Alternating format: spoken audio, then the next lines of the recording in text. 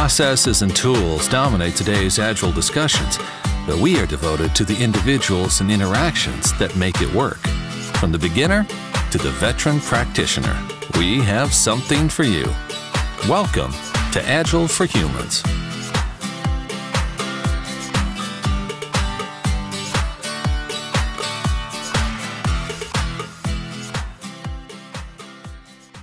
All right, we are back coming to you live from The Ohio State University at the Path to Agility Conference. Joining me now, Jeremy Willets. Jeremy, how you doing? I was actually hoping you were going to call me the Jeremy Willets. The Jeremy Willets because we're at The Ohio State University? yeah, at the Path to Agility. At the Path to That's right next time I will call you the.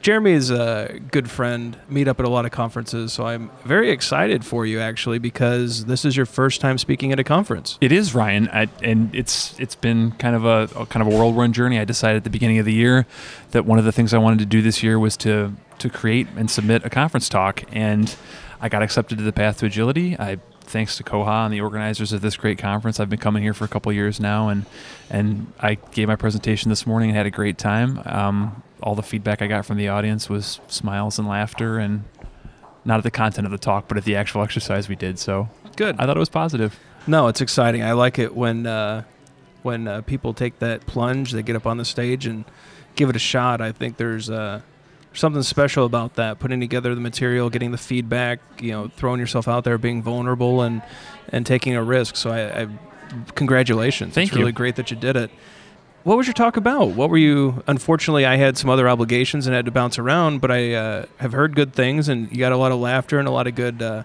uh, in the right spots, which is always nice. Yes. When the jokes hit, that's always a pleasant feeling when you're giving a talk. So, uh, but sometimes it's hit or miss. But uh, it sounds like you hit all your spots. The jokes fell on a good audience, and uh, it went well. what were you speaking about, and what was your message? I was talking about um, introspection and about how that introspection at the personal level or at the group level can help um, fuel the fire of continuous learning, which I think is is a component of agile and a component of existing in the IT world that is really important. If you're not if you're not continuously learning and continuously getting new things into your brain, I think Ellen talked about it a little bit today in her keynote. If you're not continually learning new things, you're doomed to fail and you're doomed to to stagnate a little bit. And so my talk was um, it was pretty short. I, I, dealt a little bit with my own personal learning journey and tried to use that as hopefully a reference point for some people in the audience. Um, and then I talked about introspection and how that correlates to self directed learning, which I think through that you can identify some continuous learning opportunities.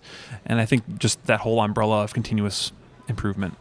So introspection, interesting skill to try to teach. Yes. So how do we how do we look inside, maybe look internal, be honest, be reflective and, and go forward. So, what are some of the exercises or what are some of the tips that you give to help people uh, look inward and, and, to do so in a meaningful way? The exercise we did today was it's a Jürgen Appelo exercise called personal maps, and and he, he posits it as a way to to get to know your teammates better.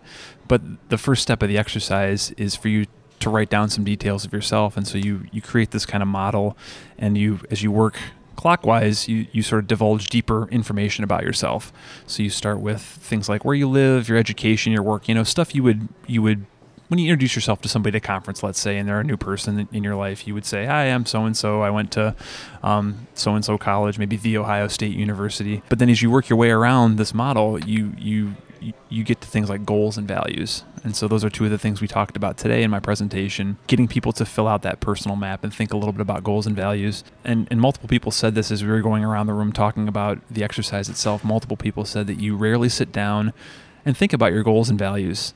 Some of the attendees found that, that sitting down and, and actively taking the time out to think about those things was an, an introspection opportunity that they did not expect, but that they found helpful. It's often amazing how, if you're just intentional about things, that uh, your outcomes can change. And goal setting is certainly one of those practices, and it's neat to see how that plays out. So, overall, though, what did you think of your first speaking experience? Did you enjoy it? I loved it. I'm, Are you going to do it again? I'm going to do it again. You're going to do it again. The, the challenge is going to be for me um, to figure out something else to talk about.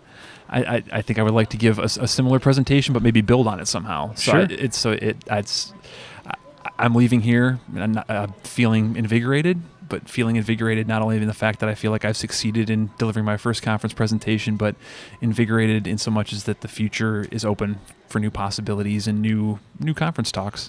Well, and once you get one in, you start building a, a resume, you start building a, a history of speaking, and I think that's great. So I hope you continue down that down that path. All right, we're going to take a quick break. When we get back, more with Jeremy Willets. Agile Dev East is the premier industry event covering the latest techniques and topics in the Agile universe. Learn both foundational knowledge and new methodologies to develop skills, supercharge knowledge, and re energize your career growth. This year's event will take place November 13th through the 18th in Orlando, Florida. As an added bonus, the event is co located with Better Software and DevOps East conferences. Your one registration automatically gives you access to all three programs. This means you can choose from over 100 learning and networking opportunities to build a customized week of learning that fits you and your organization's specific needs. Explore the program at adceast.techwell.com. Agile for Humans listeners use code AFH16 to receive $200 off their conference registration fees. Register by the September 16th super early bird deadline for combined savings of up to $600 off at adceast.techwell.com. You're in one of those interesting spots where you're an agile coach, I but am. you're an internal agile coach, Indeed, which yes, means you're part of the hierarchy. yes. And so I'm wondering if you could tell the listeners a little bit about how that's different, some of the challenges you face, how that uh, makes being a coach a little more perhaps uh, different or difficult or both. Yeah, I, I know you've talked about it on your podcast multiple times the the consultant dynamic, and that's something that I'm I'm not really familiar with, but I found out a little bit through your podcast and through coming to conferences and meeting people who are consultants. Um, but the dynamic for an internal agile coach, I mean, you're you're you're coming to, work with the people that are doing the work. You know, you're coming to, to work with the people who are on the teams. You you aren't able to you know skip town like some of the consultants are, or I mean, you don't have necessarily an endpoint. So I think it what makes part of that challenging is that you can't you can't come in like a bull in a china shop. You have to come in and be subtle. But I think that that affords a lot of cool opportunities. I think that in my case, I've gotten to know people really, really well. And I think it, it speaks to some of that introspection, not only at the personal level, but the group level, that when you get to know people really well at the workplace, really cool stuff can happen. And I think that being an internal agile coach affords a lot of those opportunities that perhaps being someone external wouldn't afford. Really, the ability to invest the time in people because this is a a a long term uh, process. It is. So you're going to spend a lot of time with these people. You're going to spend years with these people. So you can spend the time it takes to to grow the relationships, and then to do the coaching, and you have those extra insights. I think that's an, an interesting uh, take on coaching because typically you go in, you have a six month engagement, you don't have time for Mhm. all the personal stuff. You got to deliver, deliver, deliver, and show you know why you're worth that high uh, consultant price tag. And so that's that's an interesting uh, divergence from a, a typical consulting path. hmm It is. I, I agree. And when I think about just your description of coaching, I think about the the sports metaphor of you know a coach in sports and how they're sort of sometimes a hired gun, right? To hi- Sure. they're hired to come in and turn a team around, and if they don't produce results within a certain amount of time, then they're they're shown the door. Whereas in my role, I feel like I've almost been given one of those, you know, Mike Krzyzewski lifetime contracts in some ways, where it's I'm there to, to to exist and help build relationships with people and have that kind of be at the forefront of what I do, and then throughout that relationship building, provide coaching along the way. as you work with these in, internal people, internal teams, internal stakeholders, all of these these different roles within within your company, what have you found to be the most difficult uh, aspect to to train, to coach, to teach? Where where where do people get stuck? I think people get stuck in a lot of ways, and, and some of this is what I talk about in my talk itself. It's I think I think people get stuck learning new things. I think learning new things is a challenge for a lot of people, particularly at the company I work in. We've been successful for many many years. Um, we started 25 years ago, I think, as a as a kind of a two man startup. We're now up to 2,000 people. We have a global reach. We have 15,000 customers we have shown no sign of stagnant growth since I started at the company eight years ago. So I think for a lot of people, when they when they view agility as being a different paradigm shift, they they question why. They question what the what the incentive is for them since they've been part of a, a, a company that's that's exceeded every expectation of it so far. It's people's ability to learn and people desire to learn.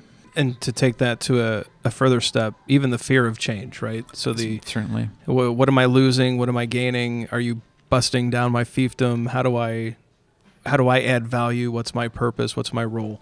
All those things start swimming around, and and I can imagine, you know, a, a consultant can walk in and say, well, this is how you're doing it, Right. and this is what we need to do, and this is what your CIO told me we're going to do, and as an internal coach, you have to see them every day. Yep. Uh, you have to get along with these people.